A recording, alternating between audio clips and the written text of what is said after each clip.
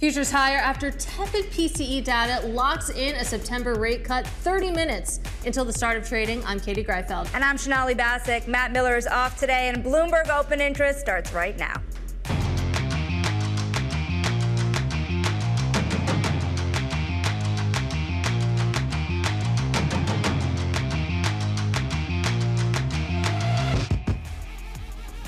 Coming up, marching on. Stocks closing on a fourth month of gains as latest inflation data reinforces bet that the Fed will start cutting in September. Meanwhile, Intel explores its options. The chipmaker is said to be working with investment bankers to help navigate the most difficult period in its 56 year history.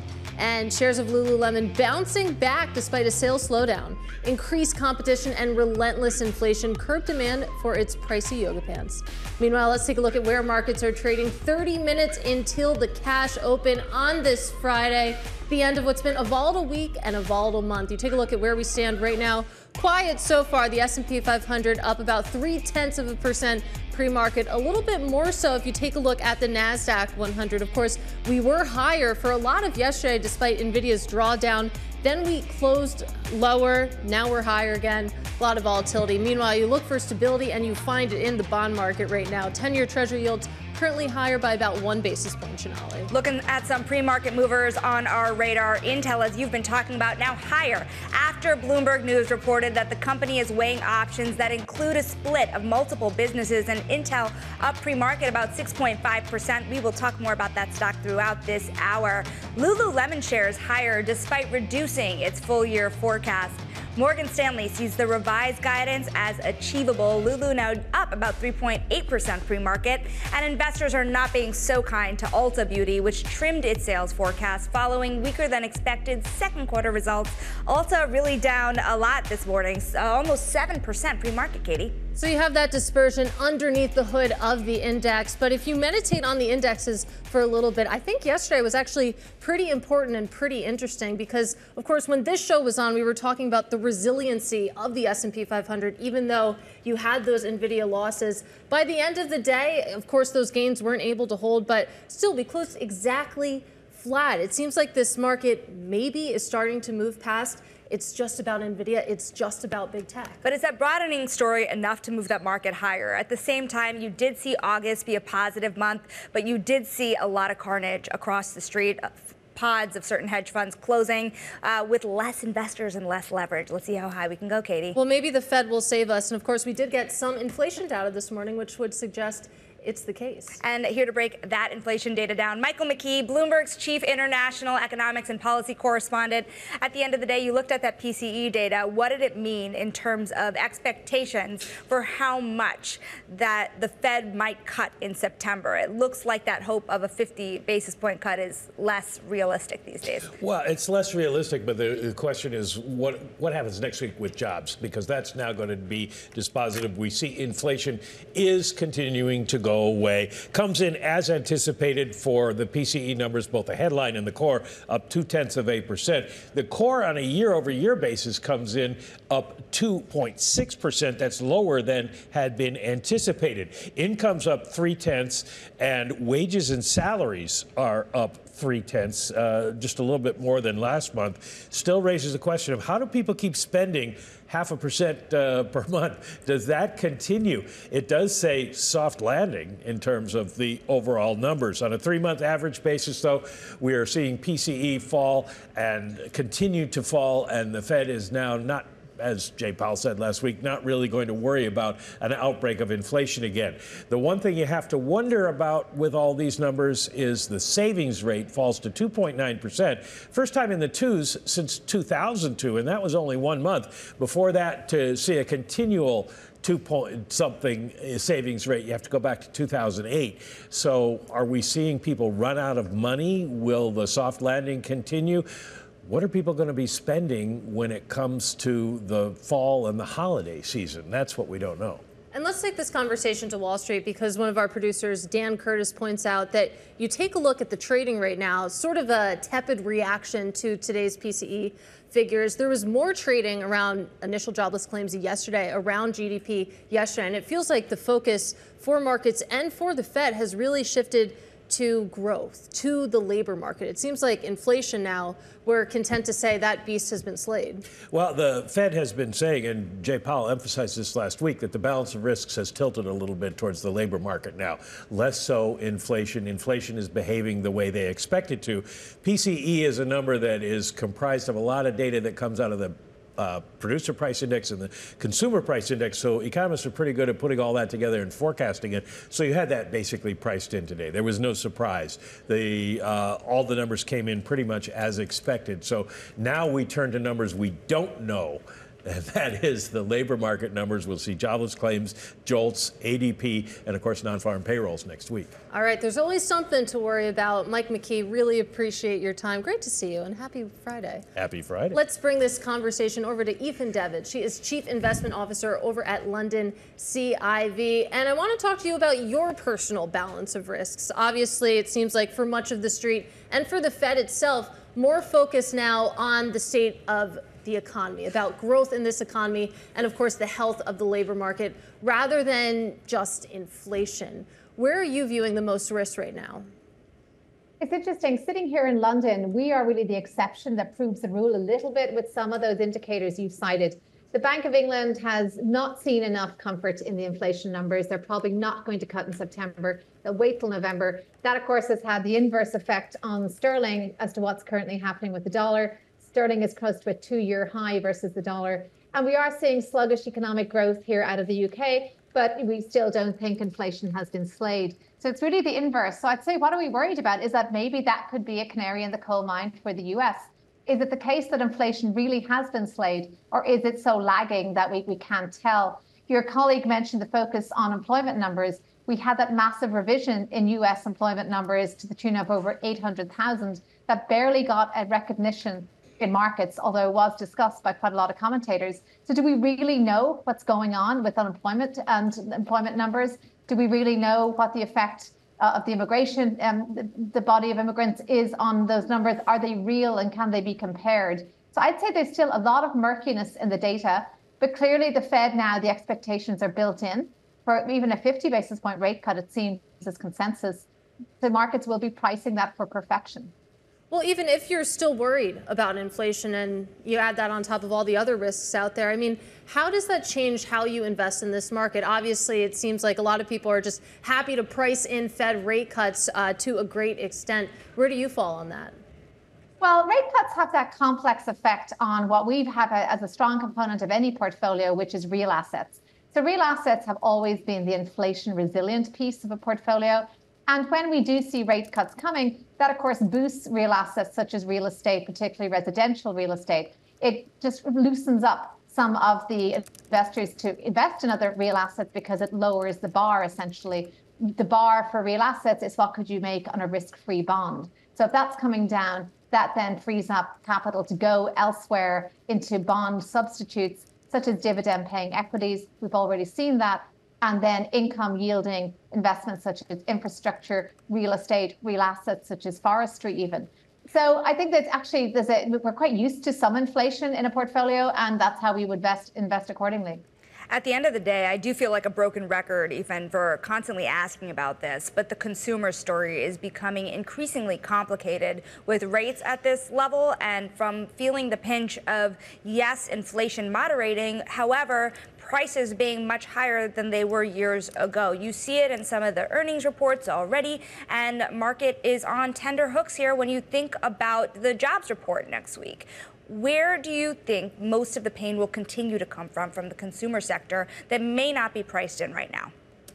We're going to see discretionary spending coming down. And you rightly pointed out earlier that we are looking at this big question mark around retail sales around the holidays, because that's when the biggest ticket items would come. We've seen reasonably steady demand, and that's been surprising. But where are we hearing about um, demand fluctuations? But areas like, say, Airbnb, we're hearing about that. We're also looking at some of the demand projections coming out of the earnings picture. Not all of them looking so rosy. Yes, the savings rate is lower, but maybe the savings level is still high post COVID. The savings rate's lower because the consumer is being squeezed. We know they're paying more oh, and cumulatively for what, what they're, um, they're purchasing and also that if they do want to buy a house, for example, mortgage rates are a lot higher.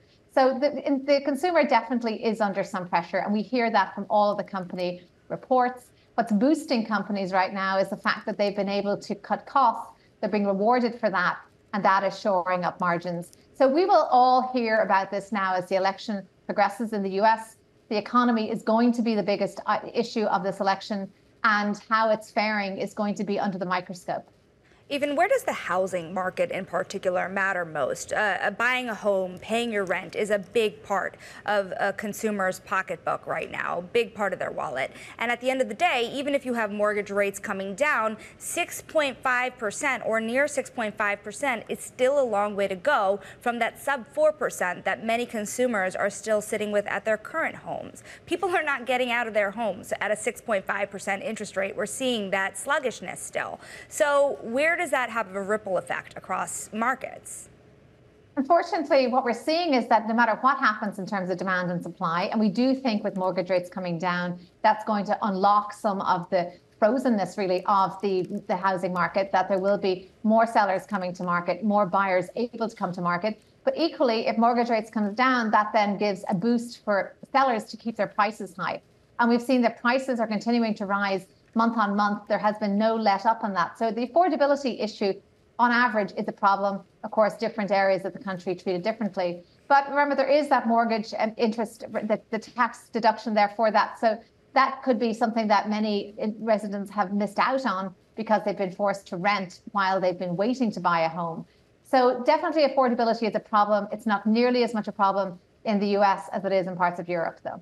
Yeah, that's good context, global context, since we spend so much time talking about the U.S. housing market. And I want to switch gears here because, of course, we're talking about the Fed, uh, and tech has been the story of the week. But another news item that crossed this week, of course, was Berkshire Hathaway crossing $1 trillion in market valuation. I believe the first non tech company to do so. And Aoifinn, I'm just curious how you received that news because I feel like an optimist could extrapolate that out as maybe some hope for the value investor. Exactly. Well, the classic get rich slow story, looking at company fundamentals, companies that have moats, that has been the Warren Buffett mantra for, for decades now. I think he just turned 94. So clearly going strong in terms of that mantra working. But then we just looked at Ulta numbers. He bought, took a stake in Ulta recently, and the Midas touch maybe will be a slow burn as opposed to something that we see immediately reflected in that company's stock price. So clearly, the, the Oracle of Omaha is, is very much under um, scrutiny of everything he does, whether it's selling down Bank of America, selling down Apple, or buying into Ulta. It's seen as an indicator of perhaps good value, uh, as you pointed out, or, or just a, a, strong fundamentals on part of a company. So as we see this um, evolving, and clearly there is a belief in this rotation in value stocks, in bond substitutes, as I mentioned, I do believe that we're going to see an encouraging depth and breadth being built into markets. Absolutely fascinating. Ulta down, Berkshire still up pre-market above that $1 trillion level. Value perhaps of diversification. Aoifinn, we thank you so much. Aoifinn Devitt is Chief Investment Officer at London CIV.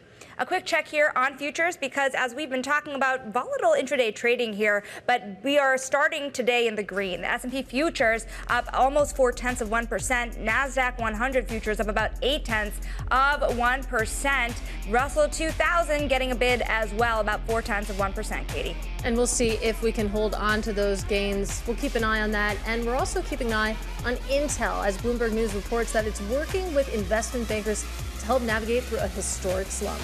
That's coming up next. This is Bloomberg.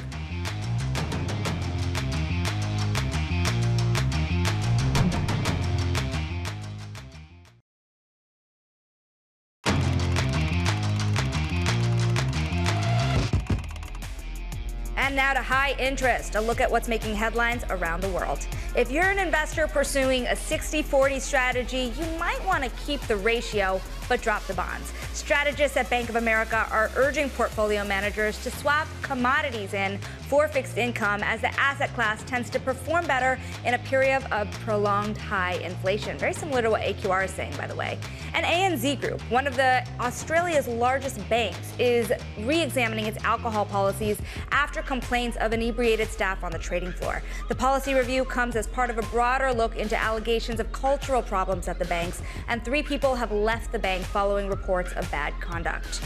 And there's about two months until the U.S. general election. Vice President Kamala Harris joined Tim Walz in an interview on CNN, and here's how she described her economic agenda last night. I would. I think. I think it's really important. I, I have spent my career inviting diversity of opinion. I think it's important to have people at the table when some of the most important decisions are being made that have different views, different experiences. And I think um, it would be to the benefit of the American public to have a member of my cabinet who was a Republican. Meanwhile, we're also taking a look at shares of Intel because Bloomberg News reporting that the company is discussing various scenarios with investment bankers, including a split of its product design and manufacturing businesses, as well as which factory projects might potentially be scrapped. And I will add, this is according to people familiar with the matter. Let's get more detail now from Bloomberg Technologies' Ed Ludlow joining us from San Francisco. And Ed, when you consider the Intel of yesteryear, it's stunning that we're even having this conversation. So just give us some context here about who Intel used to be and how we ended up to where we are today. Yeah, we talk about the semiconductor industry here on Bloomberg Television more than we've ever done, probably. It is in vogue, essentially. But Intel is at the core of the semiconductors history. And we use the phrase chip maker as a blanket term for all of the names that we talk about, but that's actually not quite right in many cases. It is definitely right in Intel's. Intel designs its own products, specific uh, processors and chips that do specific things, but it also manufactures them. While for a large body of all the other chip makers, other contract manufacturers do that for them. TSMC is the world's biggest contract manufacturer for chips. And Intel was the leader in both fields for so long, designing chips that do stuff and then building them. And that is no longer the case in either sense. And it is in financially perilous territory where it's trying to work out how it can regain leadership in both branches of its offering. Now, it's interesting, Ed, because Bloomberg has reported that they're working with their longtime investment bankers, Morgan Stanley, Goldman Sachs, yeah. to find options for the firm here. There's a reason that this is one of the most read stories of today, and it's because it could have a lot of Wall Street tied up into this turnaround story. What are the options out there for Intel? Yeah, and you know bankers, and you know that bankers worth their salt. Goldman and MS have been with Intel a long time. Look at a broad range of options. The nuclear option is to sell off or separate the foundry business. That is the business of being a contract manufacturer of semiconductors for others. Right now, uh, Intel's foundry business has one customer, and that is Intel. Mm-hmm. And what it wants to do is sell to others. So that is in the pipeline, but I think that what we're hearing from sources is they've just got to continue cutting back. They have this huge, ambitious turnaround under Pat Gelsinger that involves lots of expansion. And that expansion, bearing in mind the context of the $20 billion it got through the CHIPS Act, I think they'll start cutting back on some of those plans. Yeah, it seems like if you look at uh, sort of the sell side reaction here, that it seems like one thing is certain, and that is that they're going to cut back on capex over the next year or so, Ed. But I mean, couch this in the competitive landscape. Of course, we just got through NVIDIA earnings. You had that great sit down with CEO Jensen Huang. How steep is the mountain that Intel has to climb here? Well, the, the question is actually whether or not it's insurmountable. So let's take the market for AI accelerators. This year, NVIDIA will sell $100 billion of high performance GPUs or AI accelerators. Intel, if it is lucky, will sell $500 million. We're, we're talking two completely different scales here. And when I spoke to Intel's CFO immediately following their last earnings, the first concession or admission he made to me was that they weren't at the races with GPUs. For a long time, in the context of data center, they were the leader, but they were largely focused on CPU, central processing units uh, GPU is now the brain of the data center, the high value prospect. And so they had to be honest about that and say, we're not in that market enough. On the foundry business, again, it's a very simple case study. Intel has one foundry customer, which is Intel. TSMC serves everyone else, and there are some others like Samsung and Global Foundries. And they have not yet shown evidence of booking any third party customers. Um, and that's the only way to, to stem the losses in that foundry unit, actually start doing business with other people. Ed, really quickly here in like 20 seconds, how vulnerable sure. is Intel? Because there were prior reports about worries about an activist investor potentially attacking this stock. Yeah. Uh, do you have an analyst telling us the model is effectively broken? Yeah, I, I, just cite the line in the Bloomberg story by Ian King and our deals colleagues that Pat Gelsinger is running out of time. Bloomberg Technologies, Ed Ludlow, we thank you so very much for your time. And Katie, it's so fascinating here because you have to remember that so much of Wall Street, despite Morgan Stanley and Goldman Sachs, are already so invested in this story. Brookfield, Apollo have already done deals with Intel. Mm-hmm. Apollo's deal was an $11 billion deal, one that was not only record setting for this kind of deal, but also landmark and really guiding the way that Apollo thinks about doing deals in the future. Right. A joint venture here to really expand on AI capabilities and uh, factory networks here and really think about expansion. Yeah, it'll be fascinating, of course, to see how those discussions involve. I'm glad you asked about asked about activists. What a phrase there. Uh, also in the story, I mean, there's the possibility of M&A here, and of course, we know there's a potential split up as well. So the board meetings in September, it's going to be really fascinating. Turnarounds are indeed costly. Now, coming up, Intuitive Machines wins a NASA contract for a mission to the moon, South Pole. I'd like to be there too tonight. Social climbers up next. We'll talk right about that. This is Bloomberg. Lunar lander. Vehicle pitching downrange. propulsion is nominal.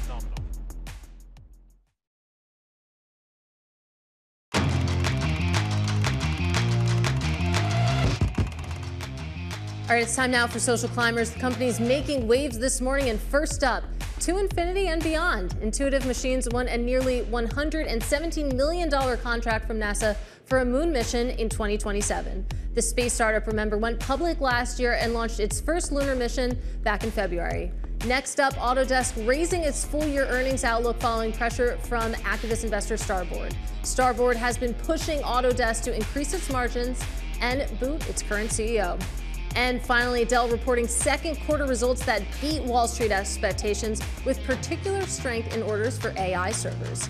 Dell Technologies COO Jeff Clarke joins Bloomberg Technology at 11 a.m. New York time.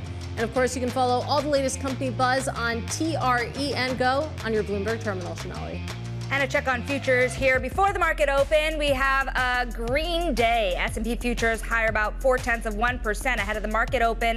NASDAQ 100 futures up eight tenths of 1%, almost nine tenths. Russell 2000 up more than four tenths of 1%. And of course, it's a fascinating week ending August in the green, but not without its choppiness. A clean day of PCE reads, but a busy week of economic data ahead. Now, coming up, we're going to talk to Adam Hetts of Janus Henderson about his S&P 500 call. Stick with us for that conversation next. This is Bloomberg.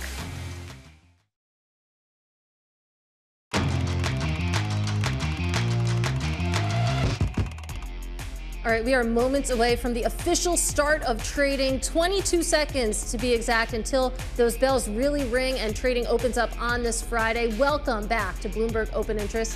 I'm Katie Greifeld. You take a look at futures right now pretty much green. You can see that across the board from big to small, which is amazing when you think about the volatility that we've seen in the past week, in the past month, really all summer long. But it looks like we're going to close out this trading week and this trading month with more gains on the screen. You can see, of course, the companies at the NASDAQ and at the NYSE's clapping right now, of course, as trading officially kicks off on this final trading day of August. You take a look at where the major averages are trading right now. Officially, we can say we do have green on the screen. The S&P 500 currently up to the tune of half a percent. Even more so if you take a look at big tech. We had a really weird volatile day yesterday with Nvidia's fluctuations, but right now up by 1%. And the small caps also getting in on the action. The Russell 2000 currently up about four tenths of a percent. Now, one stock to keep an eye on at the open is Intel. Remember that Bloomberg News reporting the company is discussing various scenarios with investment bankers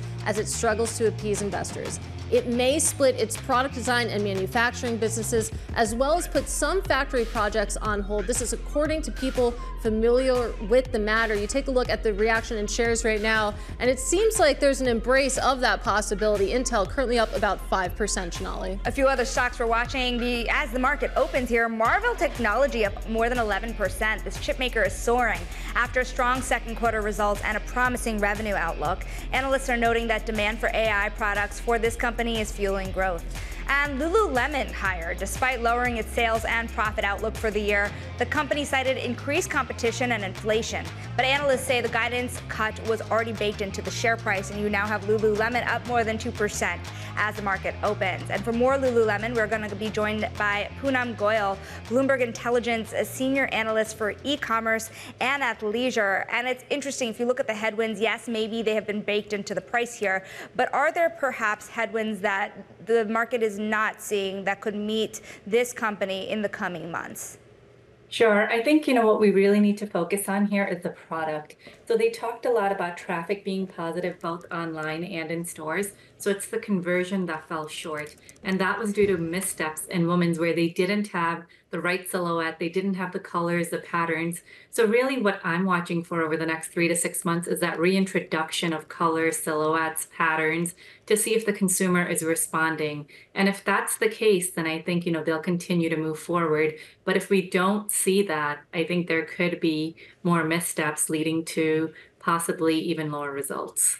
Poonam, I was saying to Sonali uh, before this block started that, full disclosure, I really like uh, Lululemon. I really like Peloton. I use uh, both of those brands very frequently. I know you don't cover Peloton, so I won't ask you, but it's interesting that you do have all of this brand recognition when it comes to both of these companies and yet you take a look at the stock performance you wouldn't necessarily know it and to your point when it comes to the branding and the silhouettes et cetera you have jefferies out with a note saying that maybe the brand has peaked now. Maybe style is shifting. And you think about sort of the uh, the re-embrace of baggy jeans, etc. I mean, how difficult is it for Lululemon just to keep up with current fashion trends? Well, they're, they're trying, right? So they're trying to go beyond that aligned legging, right? They're introducing baggier fit, more casual fit in men's and women's, and it's going to take time. That's not what Lululemon is known for. They're known for that wear to the run you know, that's what you're wearing to the yoga studio. That's what you're wearing to the gym, but not necessarily when you're just hanging out with friends or going out. So, so they're trying to change a little, but I wouldn't expect them to change too much. I think there'll be a balance. But the customer does love the brand, to your point, and I think that's the one thing that's going great for them. It's, it's if they get the right product, I think they'll do just fine. It comes back down to product very hilarious that you say that because I was just telling Katie that my spending power has moved, and I love Lululemon as well, from Lululemon leggings to cowboy boots this year. Uh, but at the end of the day, another thing that I'm interested in here, you had Lululemon, for example, invest in different things, right? Like footwear. But at the same time, you see brands like Abercrombie and Fitch also moving into that athleisure category. Are they just facing more competition for this lifestyle brand that is attracting attention elsewhere? Yes, so definitely there's more competition in the competitive landscape. But that said, I would also say that that athleisure is growing as a whole globally too, right? Whether it's international or here, more people are more active. They are going to the gym more. They are spending time outdoors more. So it's a category where everyone can gain share, but competition will be tougher as everyone, not just Abercrombie, but even the Amazons, the Walmarts, the Targets, Alo, you know, you name it. It's coming from everywhere, high to low end. All right, Poonam, really appreciate your time. Of course, Poonam Goyal of Bloomberg Intelligence talking about Lululemon down just an absolutely punishing 49% year to date. We're going to continue to follow that story. But let's broaden out this conversation now with Adam Hetts. He is global head of multi asset over at Janus Henderson. And I won't ask you about Lululemon, of course, and whether you shop there, but I do want to talk about market fragility because back in June, you highlighted that risk factor and you said that a 10% correction is more likely than not. You think about July, you think about August, and all the volatility that we've seen. Are we past the worst of that correction? Oh, morning, Katie, Sonali. And I might have a little bit of Lululemon in the closet, but moving on back to my last uh, time as a guest in the show, and thanks for having me back. Yeah, that was mid-June. I talked about the fragility in the market. To your point, I talked about the likelihood of a 10% correction uh, probably being more probable by the end of the year uh, than not but still thinking we'd end positive for the year. And then mid-July, that fragility in our view translated into that 8.5% drawdown that finished off early August. So our view at this point is the market did pass a bit of a test. We like 5,600 a little bit better this time around, but with this round trip that we've had, we're also back to a lot of the fragility that drove that sensitivity that triggered that pretty abrupt, draw, abrupt drawdown that we saw in mid-July. So we're standing here the last trading day of August, and everyone's coming back from a Labor Day weekend next week, and you have a new setup, one where the election is around the corner, one where a little bit of leverage has been popped out of the system this month. So how do you expect the story to go from here? Who's going to be investing in the market when we come back, and how will they be investing in it? Well, on the note of coming back, it, it's nice having the data print this morning as far as PCE and the consumer. I think we can check that one off. Uh, it's a nice print going into the long weekend. And then now we're looking forward to a week from today with NFP, the non-farm payrolls, uh, the 11th CPI that leads up to potentially historic decisions on September 18th. So our base case here is that the S&P should and, and could just grind higher from here, and, and, most investors will continue this broadening trade that's fueled by solid GDP, uh, the broadening into better earnings. But I think there are a lot of risks out there that we have to remind ourselves we are in this late cycle environment. Uh, for example, earlier in the year in our model portfolios, we saw more of a mid-cycle true reacceleration in the economic data. So we broadened our portfolios down in cap, international, more of those cyclical markets. At this point, we think the bar is a bit higher to add risk from here. So we want to see how this Goldilocks narrative ensues from here. And if that's challenged again whatsoever, that, fragility across earnings expectations, where current valuations are, it could drive another drawdown before the end of the year. Let's talk about where we are in the calendar year as well, because if you crack open the stock traders almanac, September has been the biggest percentage loser for both the S&P 500 and the Dow Jones since 1950. You think about those risks ahead that you neatly laid out for us. Are you expecting history to repeat itself here when it comes to the seasonality effect? Well, maybe I can do you one better on history lessons. If we're going back to the 1940s on GDP, as we were thinking about that 3% GDP print last quarter, we don't think there's a whole lot of forward-looking guidance in that. We like that we're not seeing fractures or cracks in the surface and the foundation we're all standing on with the economy. But average GDP going back to the 1940s before a recession, the quarter before a recession was 2.7 real. So that gives you the appropriate grain of salt as far as interpreting GDP. So I think you're talking about September going forward, going back to Goldilocks, there's a lot baked into market expectations right now. And we have multiples 10, 20% above historic multiples, never mind how far above we are recessionary type multiples. Again, that goes back to this being a nervous market, laser focus on the data. We have the smallest hiccup on NFP, on CPI. To your point, that could drive a weak September. Uh, that's not our base case. Again, our base case is S&P continues to grind higher, but we're on guard and we're being cautious and we're watching the data very closely, of course. I also want to talk about sectors a little bit here because you look at the month to date. It's pretty fascinating what you're seeing in terms of investor flows here. You, de- you do see some of that broadening trade occurring. You do see consumer staples, real estate, financials, utilities, healthcare, all doing better, but energy and consumer discretionary really lagging behind. When you look at September, do you extrapolate from this? Do you see more of this? Or do you see uh, some reversal in some degrees? Good question. I'm glad you're getting into sectors beyond just technology. And so we like that broadening trade. That's very satisfying as a portfolio manager as far as the impacts that has on a well diversified portfolio and, and long overdue. You talk about energy, you talk about discretionary. That's another good reminder that we are in this late cycle environment. Late cycle can go on for a long time, and that's the base case again. But you're also seeing these pockets of weakness in some places. I wouldn't extrapolate that too far.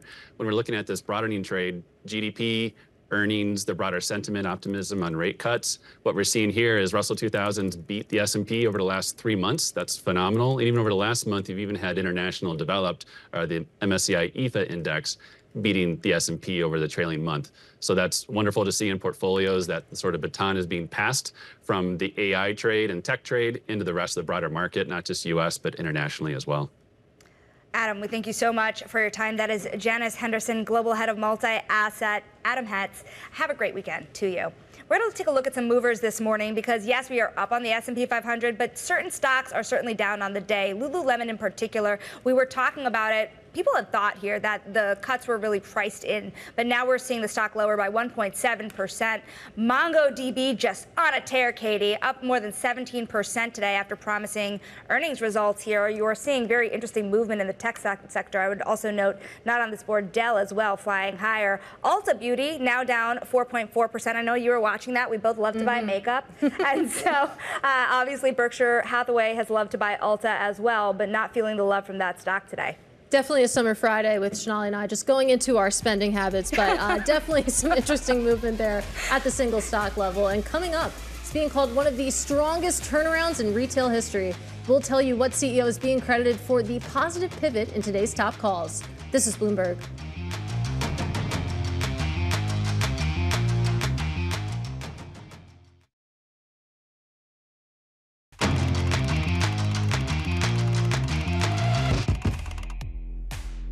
All right, it's time now for top calls. Some of the analyst action in focus this morning. And first up, Citi upgrading Abercrombie and Fitch to a buy. The analyst says that Abercrombie had one of the strongest turnarounds in retail history, adding that CEO Fran Horowitz has shown she has her finger on the pulse of their consumer. We spoke to Horowitz earlier this week about the turnaround. We've spent a lot of years re- transforming this company and really rebuilding our operating model. And we've spent time and time and time again with the investors really explaining and helping them understand what all of that means. What that means is staying close to your customer, making sure that we're reading and reacting to the business, having financial discipline and how we control our inventories. Um, it's a it's a new way of thinking about retail, and our operating model continues to to drive results. And next up, Morgan Stanley says that Dollar General is no longer a buy and shaving its price target by $70. The analyst says that there is greater uncertainty around whether the discount retailer can stabilize its market share position. Dollar General reported bleak second quarter sales weighed down by a weaker low end consumer. And finally, Raymond James cutting its price rating, its target on Ulta Beauty to outperform and cutting its price target by $50. The analyst citing the impact of competition and a softer macroeconomic environment. Ulta trimming its sales forecast as more consumers cut back on cosmetics. And let's discuss this now with Bloomberg's Afanasieva joining us. And I'm really curious about just the context and the contour of this year because in the first quarter, it seemed like beauty was where you want to be. And obviously, you take a look at the shares since then, and something has changed here. Absolutely. Yes, it's both a structural change and a change that's uh, Ulta specific. Um, on the one hand, you've got consumers trading down and spending less. Um, and experiencing weakness after a strong period of inflation and high interest rates. There's of course the dupes that we all know. Why spend uh, spend a lot of money on a product where you can have the Walgreens equivalent um, with the same ingredients. They might not be of the same quality, who knows, um, but they cost a lot less. And then in Ulta's case, it's been complaining about having Sephora shops open, for example, in the same area. So they're having to work harder to compete for their piece of the pie because it's just such a com- competitive sector in beauty and skincare at the end of the day, when you look at the stock price reaction down another 3% and bringing the year to date declines to almost 30%, Dasha, how much needs to change at this company to change investor sentiment around it? I mean, it's rare to see such a sharp downgrade, and you sort of wonder how how could things have changed so much in the last month that you're uh, forecasting, you know, a decline of sort of two percent rather than uh, up to a two to three percent increase in sales for the year. So I do think a sort of a more radical overhaul uh, is probably called for, um, or I, would be calling for it if I were an investor. Um, but on the other hand, if part of problem is that there are Sephora stores close by. You can't very well overnight up sticks and, and leave and change the location of your stores. So I think that it's about a um, a cleverer marketing strategy uh, and and definitely promotional activity, which of course you know may will have an impact on margin. Um, but I think that the company's got to unveil unveil something that will at least convince investors that it's doing well in a tough market rather than doing poorly in a very tough market. And I want to uh, build on that conversation because you mentioned the competition and you mentioned marketing. And you think about what's going on over at Sephora, of course, one of the biggest competitors to Ulta, and it's TikTok. I mean, it has just gone absolutely viral. And when it comes to how Ulta sort of climbs this mountain here, I don't know how you engineer a viral campaign. It seems like a tall order. I think yes, it's TikTok, which is which you have to know how to do, and I guess it's a case of hiring executives who get it and who get how to market this way, get to how to market to these generations. Um, I think also um, if you if you look at some of the beauty retailers they've done in the UK, Space NK is fighting back um, and they do quite well on membership and on expertise. Um, and you know, membership cards are a way to also uh, drive consumer loyalty. I think data is a massive one. Um, one of the in this result season, one of the things I found most interesting was Walmart talking about how they're using AI uh, to predict the demand for products. Where uh, I think they said it was they they could use 950 million data points created or improved using AI, and if they had done this with human uh, it would have taken taken way more people. So I think it's that kind of smart investment. But it, you're right; it's definitely an uphill struggle in a very competitive space. Dasha, we thank you so much for your reporting. That is Bloomberg's Dasha Afanasieva. Very sorry. Thank you for your time. Now, coming up, Izzy Englander picks his next fund to back. We're going to have details next on what's going on in the world of hedge funds in today's Wall Street Beat. This is Bloomberg.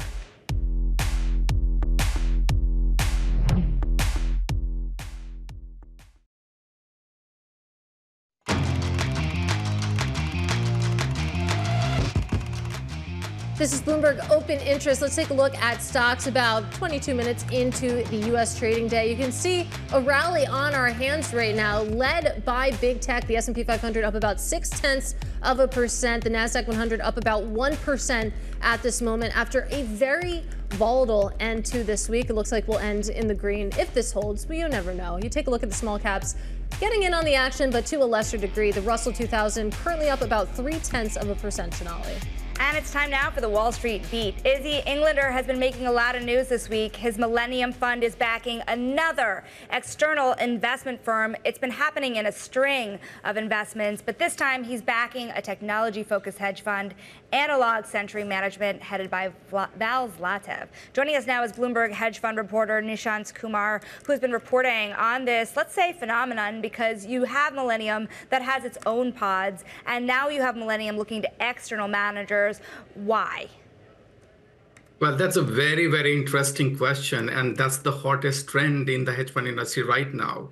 It was not meant to be like this. In an ideal world, Millennium would want all these traders to come inside and trade for them. But there is a huge talent crunch going on in the industry right now. Not everyone is available uh, to be hired. People have their own ambition uh, to run their own firm. So this is Millennium's second best option. Everyone is doing that, but Millennium is the most aggressive uh, hedge fund to allocate capital to external managers, roughly about a tenth of their investment mm-hmm. teams, and there are 330 of them uh, are external now. That's absolutely fascinating. And this all comes against the backdrop, Nishant, of a very volatile August. And Millennium is one of the larger hedge funds also that has actually had to close some of its own pods this month after the turmoil we saw. Can you explain what we've seen this month? Yeah, absolutely. So Millennium has, we have reported three pod closure. Uh, to be fair, I mean, they have more than 330 of them. So it's still a very tiny number of people who have been let go. Uh, and it always happens whenever uh, there is a market chaos.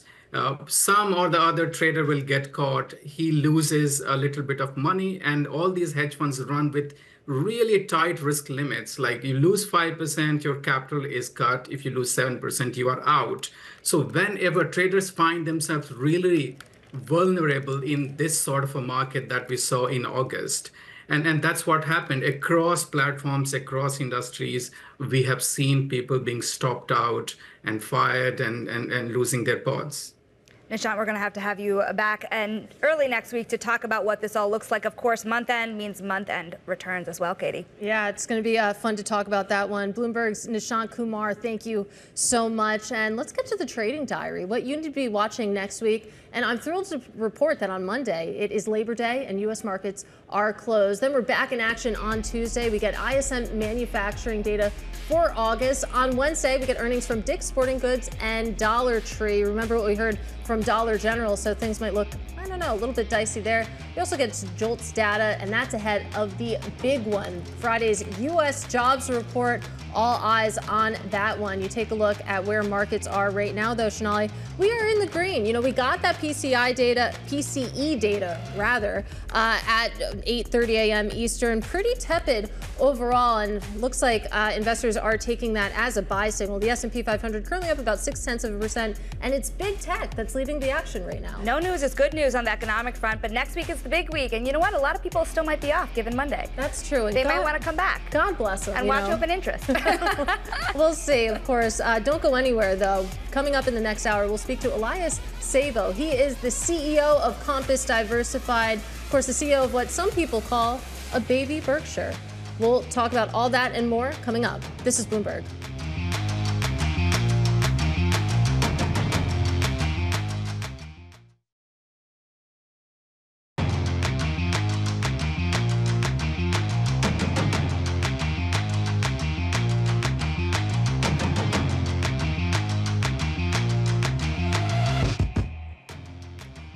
Minutes into the U.S. trading day. Welcome to Bloomberg Open Interest. I'm Katie Greifeld. And I'm Sonali Basak. Matt Miller is off today, coming back next week, though.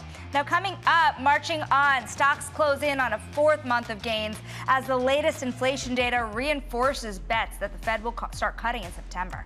And Kamala Harris speaks in her first TV interview as Democratic nominee, saying that voters are ready to turn the page on Donald Trump. She's now leading or tied in all seven swing states, according to Bloomberg's latest poll. And as Buffett's Berkshire tops a trillion dollars in market value, we're going to speak with the CEO of a company with a similar business model, Compass Diversified. He's got a plus on middle market firms, Katie. And let's get a check of these markets right now because we do have a rally on our hands, which is nice to see after the weird action of yesterday. Remember, we were up by quite a bit. Then we had a big drawdown in the second half of the day and ended up just about flat on the S&P 500. Different story right now. The S&P 500 sitting on gains of about seven tenths of a percent, even more so if you take a look at the big tech index, the Nasdaq 100 up about 1.2 percent of course, you think about the volatility that we saw with Nvidia yesterday. Eventually, it did manage to drag down the Nasdaq 100, but that's your outperformer on the day. And you're finding stability in the bond market right now. The 10-year yield currently, I'm going to call it that exactly unchanged, camped out at about 3.86%, Sonali. It's pretty fascinating. Bringing you some breaking news now as well. University of Michigan sentiment data coming in, and the final August consumer sentiment data had risen to 67.9. Listen, that is below the estimate of 68.1, but expected inflation falls to 2.8%, which is the lowest since 2020. And as we know, uh, that expectation of where inflation is going is very important to how consumers will behave. We are now joined by Crossmark Global Chief Market Strategist Victoria Fernandez, and let's talk about this consumer because yes, we do have really promising data here. We mm-hmm. actually had promising data in the GDP as well, but we have that jobs data next week. Right. So a lot of uncertainty, and frankly, we're caught in the crosshairs. How do you handicap what's going on right now? Yeah, consumers are absolutely the biggest concern that we have right now. I mean, they are the driver of of this economy, and they are led by wages and by um, income. So when we look at what's happening, if you kind of look under the hood, I mean, GDP went up, it was revised, but GDI, the income component, was actually not that strong at all. And so you want to see this income continue in order to support the consumer. I just don't think we're seeing it. Next week, I know everyone's looking at Friday for the jobs report, but I actually think the JOLTS report is going to be more important important than the jobs report because it's telling you the hiring rate. That is what gives you a really good feel for what's going on in the labor market. And hiring rate is down 43% for the first seven months of this year versus the seven months of last year. Job losses are up quits are down, wages are stagnating. All of that will come out of the JOLTS report, and I think it gives us a good feel for what that consumer is positioned to do going forward. At the end of the day, if you're worried about the consumer going forward, what does that mean in terms of what you expect of easing for the consumer if you see that first interest rate cut in September? Uh, that's pretty much a, a, a will happen at this point. But do you need to see more than 25 to really start making a dent? 25 really isn't going to make uh, that big of a difference, I think, to most people. Um, I don't think you're going to go out and buy a car because 25 basis points less. Or a house. Right? Or a house, yeah. I just don't think that's going to be your, your driving factor there. So you know, just like we have lags when rates are moving higher, there's going to be a lag as rates move lower too. And I think it's that period between still having the lags from higher rates filter through this economy, waiting for the effects of lower rates to happen, that really is going to give us the volatility and the concerns we have in this market. Yes, I think 25 basis points is what we see from the FOMC meeting in September. I actually think we only get one more this year, probably in December, and the market may have to reprice a little bit because right now they're saying 100 basis points. Yeah, I was going to say, I mean, if we only get two and we have four priced in, it feels like, I don't know, some of the investors out there on the street are a little bit giddy because they fought the Fed and Yes. they kind of won. When you think about uh, sort of the resolve to hold rates steady, Mm-hmm. now you have the Fed and Jerome Powell all but saying we are going to cut in September and then keep cutting. What would the adjustment from pricing in four cuts to two cuts look like when you think about the S&P 500, the big tech names? Yeah, so we're looking at an S&P right now after the pullback and then such a quick, uh, you know, kind of whipsaw back to where we were. You're looking at an S&P that's tactically in an overbought position. We're going into a very weak season for the month of September historically, and the market usually does not do so great 3 months following the first rate cut. So it's actually a very tough environment we're going into here for the rest of the year. I think you get that 25 basis points. Then I think the Fed wants to wait. They want to take their time, see what happens, see some of the data that comes in, maybe take a break around the election uh, time period, and then come back and continue. Um, cutting at the end of the year. They don't want to go too quickly and stoke demand and stoke inflation, but at the same time, they want to support the consumer. So it's a very thin line that they have to walk there. So, how should investors be putting this all together? Because even with the volatility that we've seen this summer, I mean, we're sitting on pretty healthy year to Mm-hmm. We date gains. We're entering into what we know is going to be a pretty volatile season. And I mean, do you just be happy with what you have? do you just sort of sit tight through year ends? Well, you definitely don't want to stand in way of the momentum of the market and you want to participate in that upside. But I don't think that means that you have to be completely risk on. I think it gives you the ability to be a little bit cautious in your approach. So look at some of those larger cap staples. Staples usually do better after a first rate cut. Look at some healthcare names, same situation there. We've been trimming tech and adding to some of the financials for the course of this year. So there's elements you can do, some tactical shifts you can do in your portfolio to put a little more defensive play to go along with the volatility that we expect and perhaps a, a pull down if the consumer does slow down more, but yet you're still participating in this market. So I think that's how you need to position. You know, the people that we speak to on the show all week have been calling this a broadening trade. It was the Mhm. rotation trade, now it's the broadening Right. trade. What do you broaden into? Especially because in this broadening trade, there have been some notable sectors left out, some places tied to the consumer, and even energy, which is a little strange considering what you've seen with energy prices this week. So a lot of the broadening that we've seen um, has been tied to the small caps, right? We've seen the Russell 2000 really do well. You look at the end of last week, Russell 2000 had a plus 27 to 1. Um, so really strong breadth. Based on our outlook, we're not so sure that that's where you want to go right now. If you have a little bit of exposure, that's fine, but we would be cautious with small caps. Maybe wait till some of this plays out, some of the volatility we expect play out. Go back to some of those more defensive plays that we like. I think you can broaden out that way and then wait for earnings to broaden out. That's going to be key for next year. I'm surprised you didn't pick up on financials. That's like your bat symbol. I have been holding myself back from this. We can talk more It's about been a great minute. place to be invested this year.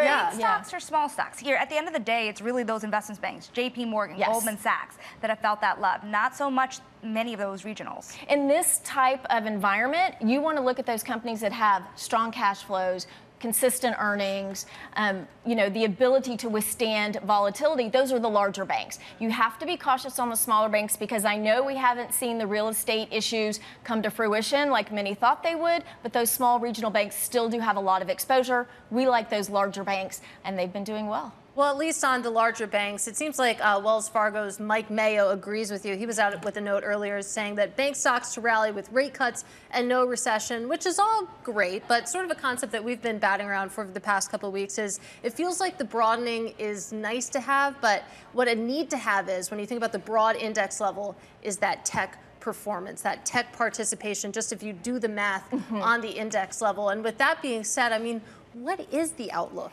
for tech? Well, they've definitely been driving the market for the past year and a half, two years. We've seen them pull back this year, and that's where everyone's saying we need to see others step up. So, does tech continue to grow? Does it continue to do well? Yes, and you look at these names, look, we have long term investors that we're working with. Do they want to have Microsoft and Apple, these names in their portfolio? Absolutely, they do. Do you want to have exposure to NVIDIA? Yes. But can you be a little bit underweight? Can you take some of your gains that you've gotten so far this year, trim that down, take those funds, and then put them in some of these other areas we've been talking about? Yes. So you want tech to do well. There's such a large percentage of the index, right? I mean, NVIDIA itself is 6% of the index. I think that's almost the entire weight of the staples. So you have to have some exposure. But I think if you believe other areas are going to do better, you can underweight that sector and start allocating to some other places. You know, the other thing that you were saying about the large financial, something that's been amusing me in this market, Katie, is that you have banks making money on M&A. You have them also making a lot of money on turnaround stories. That yeah. is spin-offs, that is activist investors, that is bankruptcies and yes. restructurings. This is a costly market for a corporation, right? You see Intel just soaring this morning off of Bloomberg's report that they right. are talking to their bankers. When you look at these turnaround stories, even certain analysts seeking bigger turnarounds at places like Ulta, mm-hmm. do you buy into a turnaround story? Is that where some of the biggest opportunity could be at the single stock level? It could be, Sonali. I mean, I think there are those opportunities out there. There are those single stock elements that you can look at. But I also think you want to take a broader approach, right? Look at it from a macro perspective and say, are these just small one offs that are happening? Or are we walking into an environment where the economy is going to pull back enough where we're going to need to see some consolidations, some mergers, some buyouts? It could absolutely happen that way, and banks will be a beneficiary of that for sure. And before we let you go, just quickly, I'm curious. I mean, you talk about not being too, you know, idiosyncratic, but it feels like it's really hard to look at an industry and paint with a broad brushstroke here. I mean, you think about it what is. we saw from Dollar General, I believe, mm-hmm. the state of that low-income consumer, and then you think about Walmart taking right. share from uh, a dollar store such as that one. I mean, it just feels like there's so many nuances when you look at these earnings reports.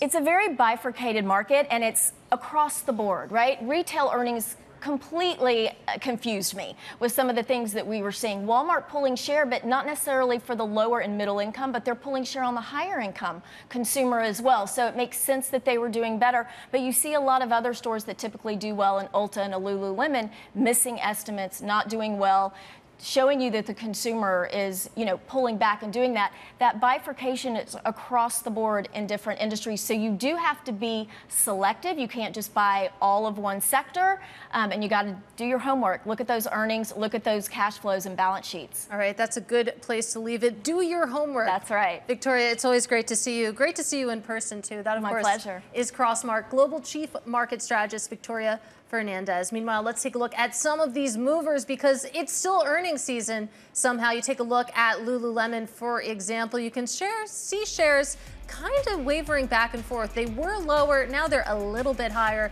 Of course, up 1%, even though they warned about that sales forecast. Ulta Beauty, different story there. Of course, down about 2% on disappointing earnings. Had been down more, though, about 7% pre market. So some of those losses coming back. And then Intel, we know the story there. Of course, Bloomberg News reporting that uh, they're talking to bankers about potential options here. A very tough time for a 56 year old company. Shareholders seem to be embracing that right now. Intel up about 7.5%. Now, coming up, VP Kamala Harris, her comments on inflation, the border, energy, and more in her first major interview since running for president. Details next. This is Bloomberg.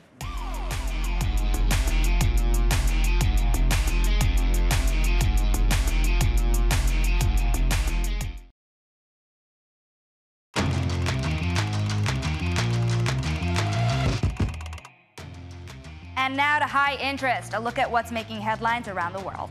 And if you're an investor pursuing a 60 40 strategy, you might want to keep the ratio but drop some of the bonds. Strategists at Bank of America are urging portfolio managers to swap commodities in for fixed income, as the asset class tends to perform better in a period of prolonged high inflation. And MasterCard is doubling down on efforts to eliminate use of credit card numbers when customers make purchases online. And the move is the latest by the company to to try and fight fraud in e commerce. And there's about two months until the U.S. general election. Vice President Kamala Harris joined Tim Walz in an interview on CNN. And here's how she described her economic agenda last night. What we need to do to bring down the price of groceries. For example, dealing with an issue like price gouging. What we need to do to extend the child tax credit to help young families be able to take care of their children in their most formative years. What we need to do to bring down the cost of housing. And for more on Harris, we're joined now by Bloomberg senior White House and politics correspondent Gregory Korte joining us from Washington. And so I liked what you said in the commercial break that basically Kamala Harris needed to rip the band aid off here. We had been waiting for her first interview, of course, not sort of a teleprompter read, but somewhere where she'd actually have to interact and engage with questions from the press. What has the reception been like so far? Yeah, she's been in this race now uh, a little more than a month. This is the first sit down interview she's done through all of that. And so, as you said, she, there was something she needed to do. She needed to tick off the box. And Look, she, if you were looking for her to put a lot more meat on the bone in terms of policy, in terms of what a Harris administration will do, especially how it would differentiate itself from a Biden administration, you were probably disappointed. But she can say that she did it. She probably didn't do herself a whole lot of damage. And, and I think it, it gave her a little bit more exposure to a national audience of, of who she is and kind of get a sense of how she sees this campaign, what value she's going to bring to it. Uh, so in that sense, no, I don't. I, I don't think she did uh, herself any harm. But it also wasn't, uh, you know, a. She probably didn't win a whole lot of new votes either. Right. Well, let's sit on that point a little bit longer. That she didn't do any harm. Was that really the goal for this appearance? You think about all the momentum she's had in the past month, of course, and you've seen that in the polls as well. It seems like, of course, not doing harm here maybe was the right tack to take. Look, modern political campaigns are extremely risk averse, and it's pretty rare uh, to see a candidate go into a, a, an interview with a, a, hostile or even a neutral interview. Both candidates, uh, you see this especially on the Trump side, really going to Fox News, some conservative media to, to have his message. It's not very often that he sits down with a, a more mainstream outlet. And we've even seen this with the, the debates. We are going to have a debate, we think, on September 10th, but the whole debate regime has broken down as candidates. Uh, uh we saw with Joe Biden, it is a very high stakes endeavor. Uh, the debate in June can make or break a campaign, and it broke Joe Biden's campaign. So, yeah, both campaigns are going to be really cautious uh, going into the final couple of months, not to do anything that that might uh, get them into a situation where they might make a gaffe or, or, or, a big mistake that the opponent can seize on. Gregory, at the end of the day, when you look at the way the interview went last night, risk averse is the word a lot of people are using. How does that pair with what you're seeing in the polls? Was so much of this risk aversion meant to keep a little bit of status quo in her standings? Yeah, so what we've seen, and we have a new uh, Bloomberg News Morning Consult poll just out last night uh, that shows that she's continuing to build on the momentum uh, ever since she was uh, took the, the reins of the nomination from Joe Biden. Harris is now up by two percentage points across the the seven swing states that we look at. That's among registered voters. Among likely voters, it's one percentage point. We're going to start talking a lot more about likely voters after Labor Day, uh, and so did she get a post convention bounce that we all look for traditionally after accepting the nomination in Chicago last week? No, probably not. There's a, maybe a one point uh, increase since last month. That's well within the margin of error. Uh, but she continues to have this momentum, and she's now tied or leading Trump in all seven swing states. It's still uh, on a razor's edge, this race. Uh, it could go either way, but you would rather be in Harris's shoes than Trump's, and that's what making her a little bit more cautious and a little bit more defensive. It's now incumbent on Trump to sort of seize back the narrative, seize back the advantage. Yeah, like you said, of course, a dead heat when it comes to this Bloomberg Morning Consult poll, when it comes to these very crucial swing states. But when it comes to Harris's polling here, how does the economy factor in? You think about some of the uh, top, top issues in this election, and increasingly it just looks like it's really this focus on the economy. Yeah, and uh, as, as you know, the, the, economy is the top issue in this election and every election. And when we look underneath what's going on these top line horse race numbers, we're trying to figure out what, what's driving that. And interestingly, voters' perceptions of the economy have not changed since Joe Biden was the Democratic candidate. Uh, people still say prices are too high and going higher. People, a majority of swing state voters still say they were better off under Trump than they are under Biden. But the thing is, they're not holding that against Kamala Harris. If you look at a whole bunch of different measures of candidate trust, we asked on a bunch of economic issues, uh, do you trust Harris or Trump more? She has now taken the high ground on issues like housing costs, uh, pay raises, uh, personal debt, things like student loans and credit card debt. And she's closed the gap on a, a, number of other issues, importantly, inflation. She has improved her numbers considerably. She still trails Trump on the inflation trust question, but she has narrowed that gap considerably. And so when people look at Kamala Harris, they are not associating her with the Bidenomics that wasn't going over well uh, with the, the Biden campaign before he dropped out. Gregory Korte in Washington, we thank you so much for the latest polling and, of course, the readout from last night's Harris and Walz interview. And for the latest on the U.S. election, head to ELEC Elec Go on your Bloomberg terminals. Of course, all the latest on what's happening ahead of November. But still ahead, we're going to talk about Starbucks, where more trouble is brewing. We're going to talk about a new lawsuit that alleges the company deceived investors. That's in Social Climbers next. This is Bloomberg.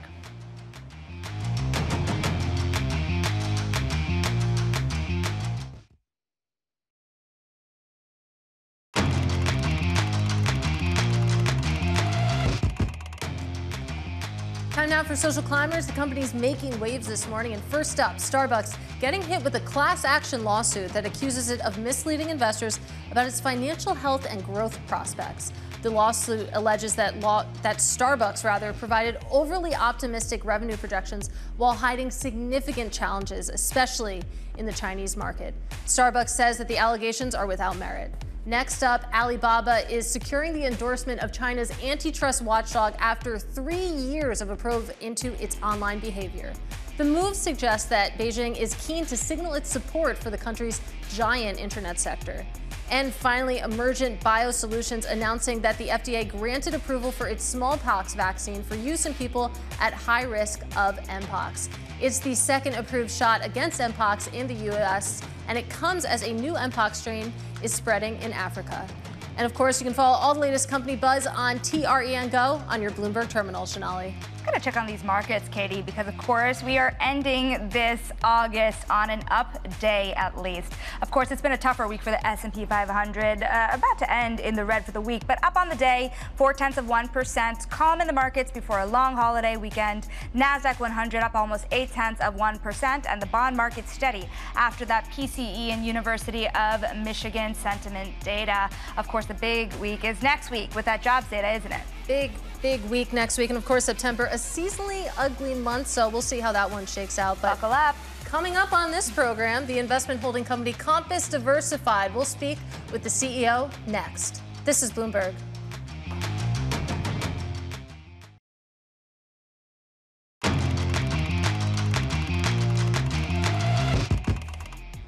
Warren Buffett's Berkshire Hathaway becoming the eighth U.S. company to top a trillion dollars in market value.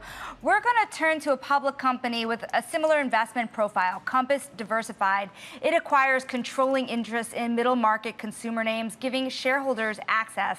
For more, we're joined by Elias Sabo, Compass Diversified CEO. And of course, this kind of model of buying into a range of companies here has become a really hot topic on Wall Street. Street, Elias. But everyone knows who watches Berkshire Hathaway. So much of the magic really comes from not only that focus on value, but the cost of funding that is required to make those investments. We're on the precipice of a historic interest rate cut. How much will that make a difference to your business?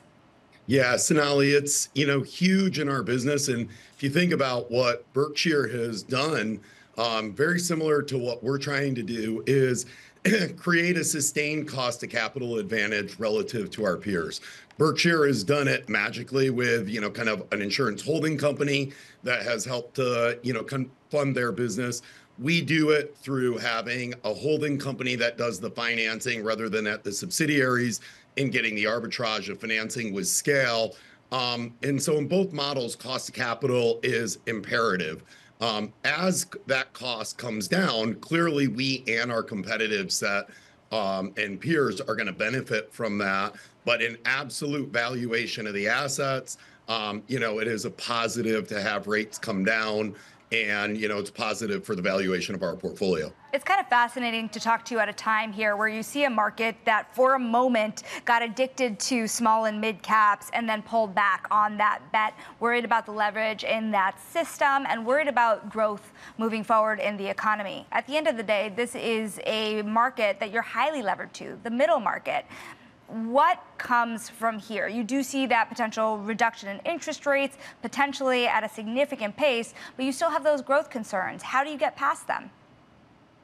Yeah, so between the first and second quarter, we saw a market downturn in activity. And, you know, that can be anything from sales that we're realizing, um, you know, kind of in the quarter to bookings that we're getting for some of our companies with a longer lead time. And so far in the third quarter, we've seen that steady out a little bit. So, you know, sort of like the car went from third gear to second gear and has sort of stayed there. Um, you know, on the other side, on the cost side, we've been seeing inflation come down now for the better part of the last 12 months. And, you know, labor pressures have really eased. Some of the, ma- the macro data has been supporting that recently. And frankly, it feels a lot like pre pandemic, where Customers are asking for price declines. We're trying to get that from our vendors as well. So it feels like inflation is dead. To me, that feels like a pretty good in, uh, you know environment where the soft landing narrative feels like it's in play right now. Yes, growth is slowing, but our cost of capital is coming down even faster. It feels like um, you know growth could pick up six to nine months based on how quickly the Fed acts. And, you know, it feels like the Fed is inclined to be cutting.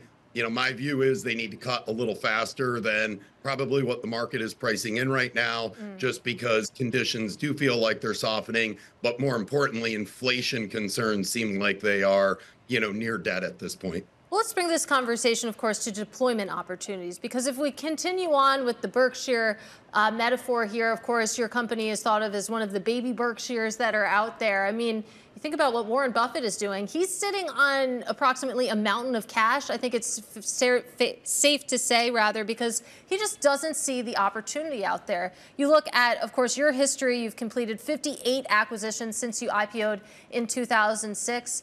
What's your opportunity set right now? Yeah, Katie, it's been a really weak M&A market over the last couple of years. You know, sellers have been very apprehensive to come to market as a result of, you know, kind of the tightening interest rate policy and valuations, which clearly are going to be depressed in that environment. You know, our model is to look at very innovative and disruptive businesses, the type of companies that we want to own. They need to be able to demonstrate that they can outgrow their core markets by two, three, four, five times you know, of growth rate. So a four or five percent growing market, you know, we need to see 10 to 15 percent, you know, growth capability and that kind of share gains that come along with it. Unfortunately, those type of businesses have not been trading given some of the valuation concerns. So for us, it's a little bit different as M&A activity picks up.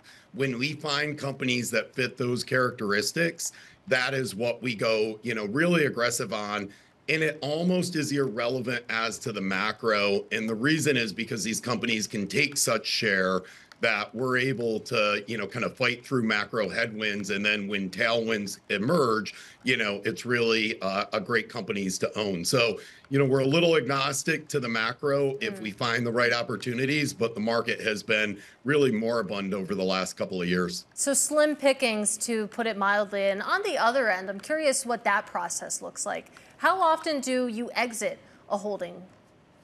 Yeah, so our average is about seven and a half years mathematically.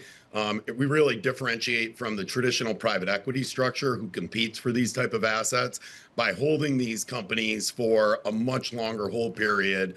Um, you know, we are experiencing the same thing, Katie. We did transact on a company Marucci uh, during the middle of in 2023. Um, early on, you know, that was a great asset that we owned. I'm sorry, it was at the end of 23. Um, and so there are selective opportunities to be able to divest businesses, but broadly, we're also seeing the weakening M&A market because of interest rates and without pressure to have to sell any of our assets, you know, we've been more in a pause mode. I think as rates come down, hmm. it's going to present a much better opportunity for these markets to unthaw Elias, I want to just put a pin in something that you had just said about the private equity market, though, because it is a competition that you're facing that is worth addressing. There's record amounts of dry powder, and the middle market yep. becoming even more attractive. How does that complicate your hunt for deals? Yeah, Sonali, it's, you know, it creates more demand for these assets.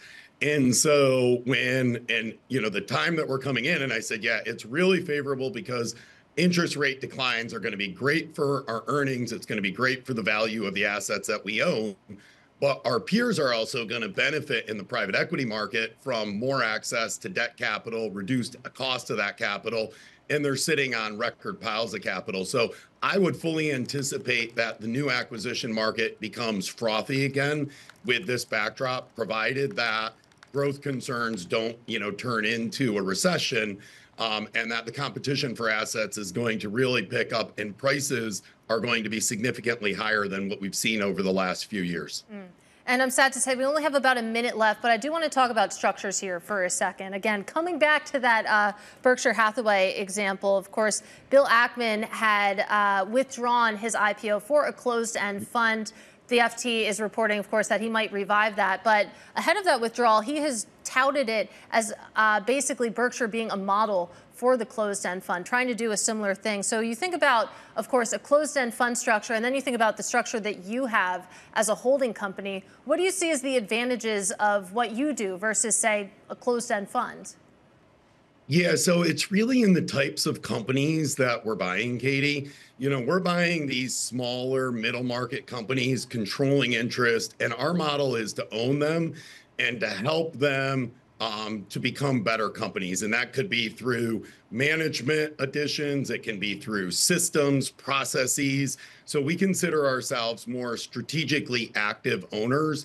You know, if you think about a Berkshire Hathaway or a Pershing Square, they are more dabbling in public stocks where they're going to be less influential in the day-to-day activities of those companies. So, you know, they're much larger companies that they're buying. They're really like portfolio managers in a lot of cases. Our model is much more active, hands-on, smaller companies that you know the normal public investor would not be able to gain access to because these are 20 30 40 million dollar ebitda companies when we buy them and our goal is to turn them into $100 million plus EBITDA companies. Um, but they're just too small for the typical investor to gain access to unless they are coming through us, right. where these other structures are essentially public companies that are being purchased. All right, sadly, we have to leave it there. Fascinating conversation. Hope to have you back again soon. Our thanks, of course, to Elias Sabo of Compass Diversified. Meanwhile, I take a quick look at these markets right now. The S&P 500 hanging on to and building upon those gains, up six tenths of a percent. The Nasdaq 100 about one percent higher right now, and all quiet in the bond market. 10-year yields pretty much unchanged. Now, coming up, one of the most memorable conversations this year from Wall Street Week. Centerview co-founder Blair Effron on private equity's comeback next. This is Bloomberg.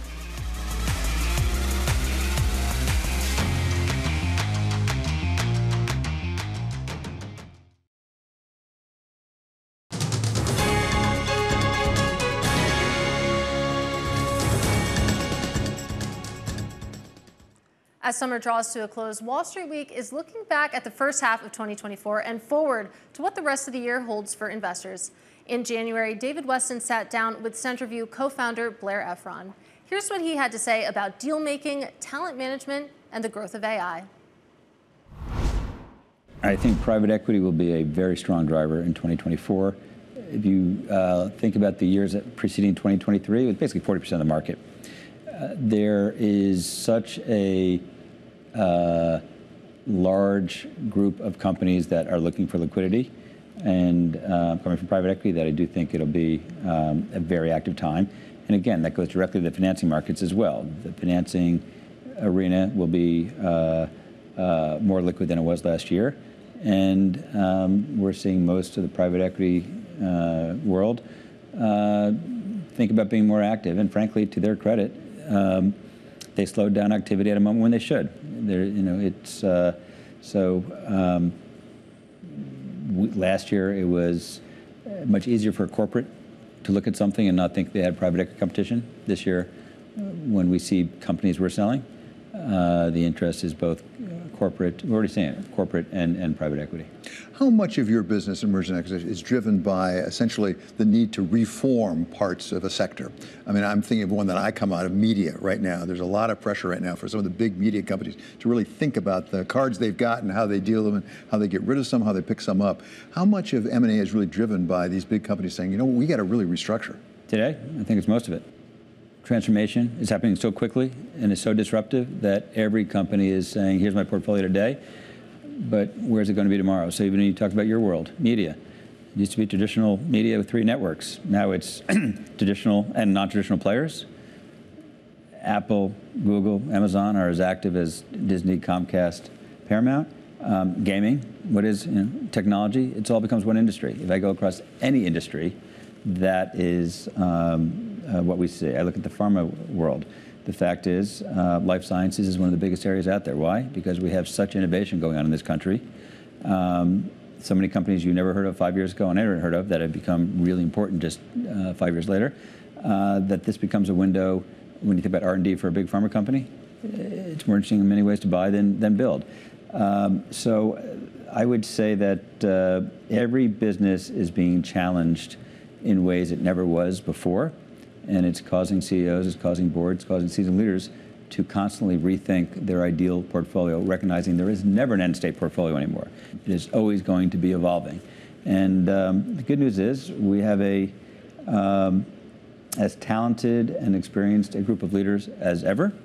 So when a CEO undertakes M&A today, uh, uh, chances are strong that he or she is going to end up doing a good job and the right thing for the company, both strategically and financially. All of which supports your view that 2024 looks like it'll be a lot stronger than 2023 in mergers and acquisitions. What does that say for Centerview Partners? Are you hiring? And if they are, you are hiring, what sorts of people you're hiring? Because it looks very different than it did certainly 10 years ago, maybe five years ago, because of some innovation. Uh, not to speak of, for example, generative AI. Boy, that's a great question. First of all, we are hiring, so anybody has a resume, let us know. We're always hiring. Um, the skill set we look for is um, probably different than you would think. We want people who can think critically, who can analyze situations, who have judgment, um, have an ability to make difficult problems distilled into more simple problems. And it's less about whether you can uh, make a great model. I do think when AI uh, over time will replace some of the skill sets that we see traditionally done in STEM, you know, coding, for example. I'm not sure that uh, if I was, uh, I'd be advising my kids that uh, learning how to be great coders is going to matter in 10 years. What will matter is do you have judgment? Uh, do you have an ability to think critically, as I mentioned? Um, and ask questions that uh, need to be asked, that uh, you can see situations of what am I missing? And I think that that is a skill set um, that uh, people are going to find is increasingly important. And you also the skill set that says, I'm going to have three careers. What do I need to know to have three careers over my over my professional span. And that was Centerview Partners co-founder Blair Effron speaking with David Westin back in January. And he's an interesting man, Sonali. He is a very interesting man. It's fascinating. This part of the year, yes, it's months left to go, but you have Centerview actually beating out Bank of America in terms of M&A league tables right now. Blair Effron is known to be an advisor to large corporations, but his commentary here on private equity really coming back is critical to this M&A revival. There's something else about him, too, that I think we need to notice, and that's his closeness to the presidential election, the Kamala Harris campaign. There's a lot of rumors about how he could potentially be a critical person, potentially in her cabinet moving forward. Commerce has been thrown around. We've written about it already. But in addition to that, he actually was a large uh, supporter of her in her prior presidential run in addition to her current one. So longtime supporter. So definitely someone to keep an eye on, of course, as we count down to that presidential election. That, of course, was Blair Effron. And tune in for a special edition of Wall Street Week tonight at 6 p.m. New York time. This is Bloomberg.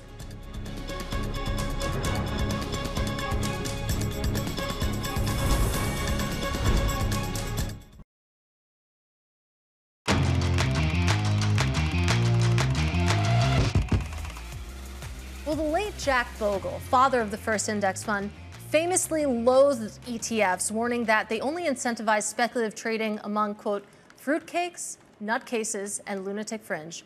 Fast forward to 2024, and critics warned that a new generation of ETFs are being designed to do exactly that. Enter the high octane world of single stock ETFs, which use derivatives to lever up daily returns on a single company. Joining us to discuss this quickly growing category is Bloomberg Intelligence analyst James Seyffart. And James, just set the scene for us because to a lot of people who don't live and breathe ETFs, a single stock exchange traded fund sounds like an oxymoron.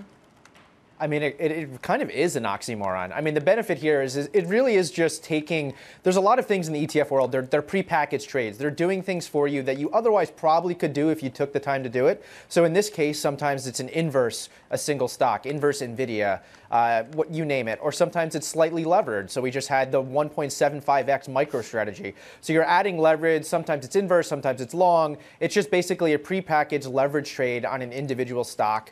There's not much more to it other than that. It's just an easy way, and honestly, a lot of people like it because it's uh, it's it's a capital efficient way of, of doing a trade rather than actually borrowing on margin and, and different things like that. Yeah, exactly. Cheaper than opening a margin account or getting access the traditional way. But of course, that attracts critics who say that retail investors shouldn't have access to institutional grade uh, margins. So, talk us through sort of the debate here because people say these are designed for day trading, and it seems like the data actually backs that up.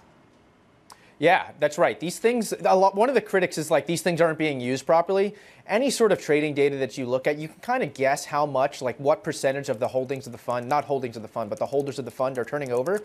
And in many cases, these funds are heavily traded. They're probably being used properly by the vast, vast majority of people using them. So there's some of these, the the actual shares of the fund turn over every two days, 100% turnover.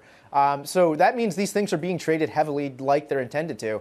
The problem is how many people are in that group that are not using them properly, don't understand what they're getting themselves into. And I can see the argument being made that yes, maybe there should be some sort of uh, prerequisite before you're able to touch these, just like there is a pre- prerequisite to get a margin account. That said, I'm all for the big tent. Allow people to use what they want to use in the ETF market. There's plenty of things out here for long term buy and hold, and there's plenty of options out here for short term tactical trading. James, that's a lot of turnover. So at the end of the day, what happens if you hold it for too long, and how long is too long? Yeah, I mean, realistically, you shouldn't be holding these things longer than like a day or two, maybe a couple of days if you know what you're doing. That's what they're built to do. They're going to generate the return, those leverage returns I was talking about earlier, on a daily basis. And then it resets the next day. So basically, what happens, we, we had, there's something called volatility decay or leverage decay. And over the long term, if you have a 2x NVIDIA ETF, it's not going to generate the same return as a 2x NVIDIA over like a week. It's just one day and then it resets every day. And oftentimes you get nowhere near what you would expect 2x NVIDIA to provide. So, really, as long as you know what you're doing, you can hold these a little bit longer and understand the position that you have. The problem becomes when there isn't enough education and people don't understand. Um, and you're holding these things for weeks or months, and it's been extremely volatile. And the fund, the, the stock in, the, in theory could be up over that mm. time period, and a 2x long ETF could be down just because of those those uh, the volatility I was talking about. It's kind of like the movie 50 First Dates, where every day is a brand new day, day. Everything just resets, and in the minute we have left with you, I do want to talk, though, about this sort of cultural shift that's underway in the ETF industry. Because, again, to people who don't live and breathe ETFs, ETFs mean passive index tracking vehicles. And at the same time, you have these incredibly, very highly active ETFs that continue to launch and are extremely built for the speculative trader here. Yeah, honestly, I think the two biggest things I've seen over the last year or two is is two ends of the spectrum, right? We have these complex derivative-based products, but what they're doing is they're, we, we call these buffer ETFs or structured outcome. They're exact opposite of what we're talking about here, right? They're they're basically Xanax for boomers. They, they, they, they can they're they're taking the edge off. Whereas these things on the other end that we're talking about here, these single stock leverage ETFs, these really complex products are the exact opposite. They're almost like amphetamine. So like we're basically broadening out the tails here of what ETFs are able to offer um, end clients.